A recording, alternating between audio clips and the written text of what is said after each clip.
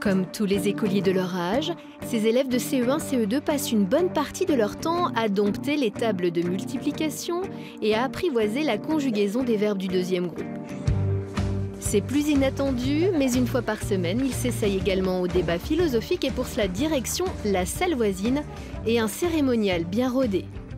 Une bougie symbolise le temps qui défile, un bâton désigne celui qui s'exprime. Ce jour-là, le thème choisi est la parole peut-elle blesser? C'est parti pour 10 minutes de réflexion collective.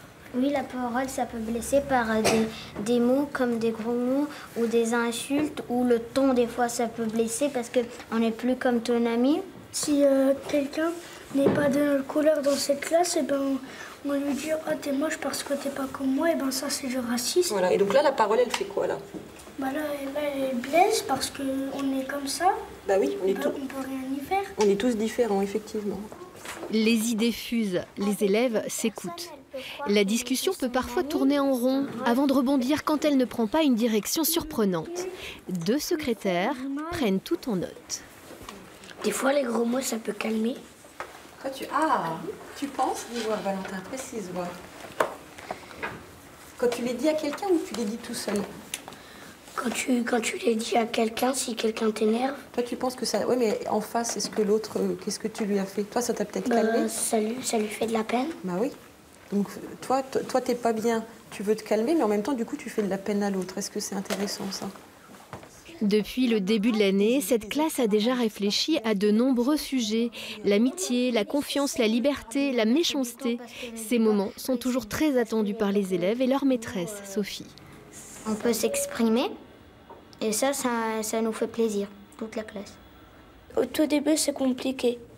Pourquoi? Ben, Parce que tu sais pas euh, comment parler, tu sais pas.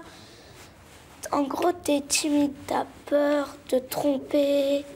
On se fait d'abord notre idée et après, on l'a dit à tout le monde et quand les autres le disent, on écoute bien et comme ça, ça peut nous donner encore une autre idée.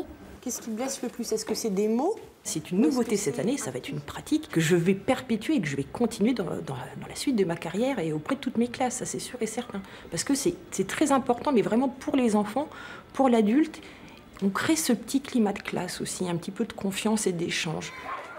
Sophie a été formée par Pascal Durand. Cet enseignant est convaincu des vertus de cette pratique. Climat scolaire apaisé, meilleure aisance à l'oral des élèves, et la liste ne s'arrête pas là. Apprendre à s'exprimer, apprendre à, prendre en compte l'opinion de l'autre, à se forger un jugement, c'est la base de la citoyenneté. Et là-dessus, les débats ils sont très efficaces. Ces élèves n'ont pas fini de phosphorer. Prochain débat, qu'est-ce qu'être triste?